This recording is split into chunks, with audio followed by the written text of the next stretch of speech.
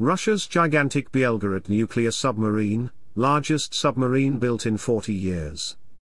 Russia's enormous nuclear submarine, the Belgorod that recently became operational, is about to undertake the first ever test of Russia's Poseidon nuclear torpedoes, according to a top-secret NATO report cited by an Italian media outlet.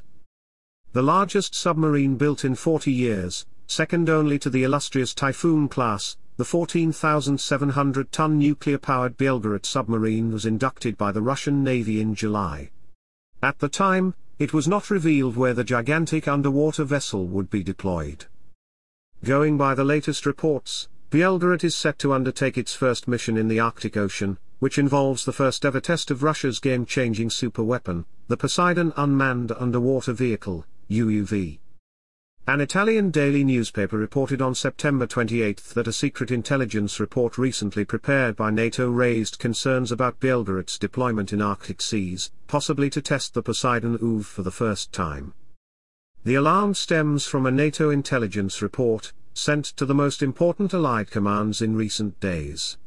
The report concerns the movements of the Belgorod nuclear submarine, which became operational in July.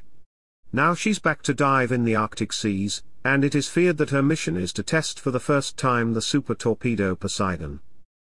The Belgorod Special Purpose Submarine, Belgorod is an expansive, customized special purpose submarine constructed from the hull of an Oscar II cruise missile submarine that was never completed. The submarine's hull is around 184 meters, 604 feet, long, and the ship's displacement is up to 30,000 tons, when submerged.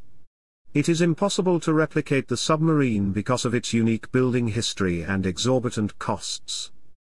According to an article by HI Sutton, a prominent American expert on naval warfare, Belgorod will be manned by the Russian Navy sailors but run by GUGI, the secretive main Directorate Deep Sea Research Organization.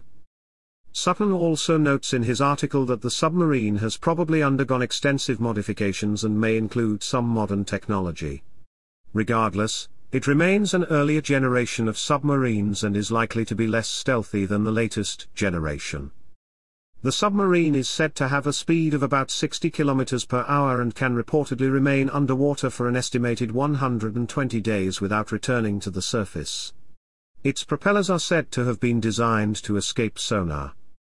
The Belgorod is designed for two roles, the first is to act as a host submarine or a mothership to the small, nuclear-powered submarines that can dive deeply, and the second is as a nuclear strike and deterrence vessel, as per the analysis by Sutton.